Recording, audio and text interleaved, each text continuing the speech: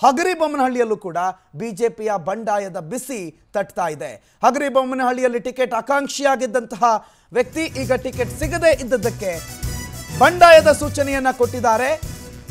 ರಾಮಣ್ಣ ಅವ್ರಿಗೆ ಟಿಕೆಟ್ ಕೊಟ್ಟಿದ್ದಕ್ಕೆ ಬಿಜೆಪಿಯ ಟಿಕೆಟ್ ಆಕಾಂಕ್ಷಿಯಾಗಿದ್ದಂತಹ ನೇಮಿರಾಜ್ ನಾಯಕ್ ಕಿಡಿಕಾರ್ತಿದ್ದಾರೆ ಬಿಜೆಪಿ ನಾಯಕರ ವಿರುದ್ಧ ತೊಡೆ ತಟ್ಟಿದ್ದಾರೆ ಮಾಜಿ ಶಾಸಕ ನೇಮಿರಾಜ್ ನಾಯಕ್. ಟಿಕೆಟ್ ಸಿಗುತ್ತೆ ಅನ್ನೋ ವಿಶ್ವಾಸದಲ್ಲಿ ಮೊನ್ನೆ ಹೋಗಿ ನಾಮಪತ್ರ ಕೂಡ ಸಲ್ಲಿಕೆ ಮಾಡಿ ಬಂದಿದ್ರು. ಈಗ ಪಕ್ಷೇತರ ಅಥವಾ ಬಿಜೆಪಿಯ ಬಂಡಾಯ ಅಭ್ಯರ್ಥಿಯಾಗಿ ಅವರು ಕಣಕ್ಕಿಳಿಯುವ ಸಾಧ್ಯತೆ ದಟ್ಟವಾಗಿದೆ.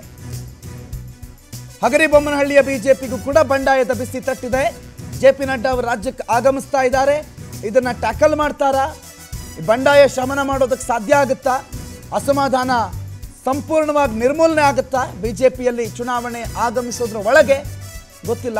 ಆದರೆ ನಿನ್ನೆ ಹತ್ತು ಹತ್ತು ಜನರ ಪಟ್ಟಿಯನ್ನು ಬಿಡುಗಡೆ ಮಾಡಿರೋ ಹಿನ್ನೆಲೆಯಲ್ಲಿ ಈಗ ಮತ್ತೊಬ್ಬ ನಾಯಕನು ಕೂಡ ಬಿಜೆಪಿಯ ವಿರುದ್ಧ ಬಂಡಾಯ ಏಳುವ ಸೂಚನೆಗಳು ಬಹಳ ಸ್ಪಷ್ಟವಾಗಿ ಕ್ಲಿಯರ್ ಆಗಿ ಗಮನಿಸ್ತಾ ಇದ್ದೀವಿ.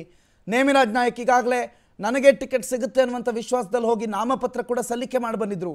ಆ ನಾಮಪತ್ರ ಸಲ್ಲಿಕೆ ಮಾಡಿ ಈಗ ಟಿಕೆಟ್ ಸಿಗದೇ ಇರೋದು ಅವ್ರಿಗೊಂದು ರೀತಿಯಲ್ಲಿ ಮುಜುಗರ ಆಗುತ್ತೆ ಅಂತಂದ್ರೂ ತಪ್ಪಾಗೋದಿಲ್ಲ.